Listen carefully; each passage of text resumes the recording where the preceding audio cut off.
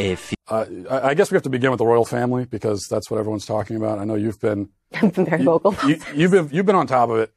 So I have two questions, um, and, and and the first one is is a serious question because I really am hoping you can shed some light on this. Why does anyone care about these Uh, god awful people? Mm. So we'll start with that. Why do you think people care that much? So I have to say, I never had an appreciation for the Royals, right? It's just, it's something that Americans don't really jive with. It never made sense to me.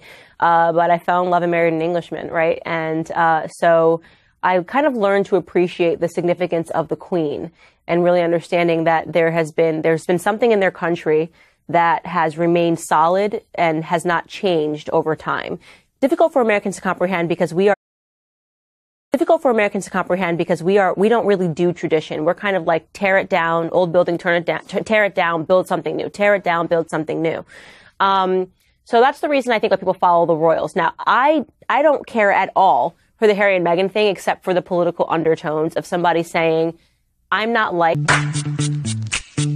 I'm not liked, therefore it's because I'm 25% black. Like that, that stuff bothers me, whether it's, or, you know, we're talking about Democrats saying it, we're, we see that pollution all throughout Hollywood. So this Hollywood star going into a country that really sort of loves its traditions, uh, and then accusing them of being fundamentally racist, it's just like, let's keep the American let's keep the American BS race narrative at least within within the bounds of America. Let's not extend it overseas to Europe because they have a different culture there. They've been around much longer. You know, England never had slaves in its country, and by the way, in terms of worldwide slavery, the Englishmen were the first to abolish it. So she just how? Hold on, bro.